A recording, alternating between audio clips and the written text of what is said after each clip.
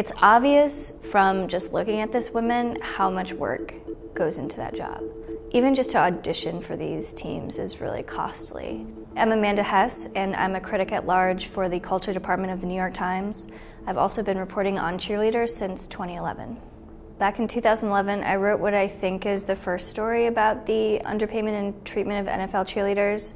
But at the time I wrote that, I actually went on cable news, and the person interviewing me said that he found my story interesting, but he thought I was the only person who cared about it. um, so a lot has changed since then.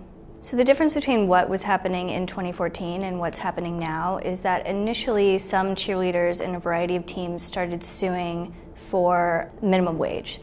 They weren't being paid the minimum wage when you factored in everything from the practices they were obligated to go to, the games, calendar shoots, now, the lawsuit that has been filed is a gender discrimination lawsuit. They are uh, basically controlled by the teams in ways that male players are not.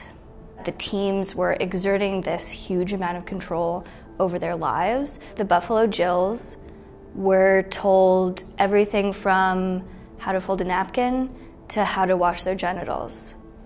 Cheerleaders are as a rule, highly discouraged from fraternizing with players. That can mean anything from, you know, talking to them at bars to dating them. Part of the problem with the rules against cheerleaders fraternizing, not just with players, but with other members of the team's organizations, is that it makes it difficult for them to advocate for themselves to get a, a different job with the company, you know, later on, to use that position to get something that's actually paid.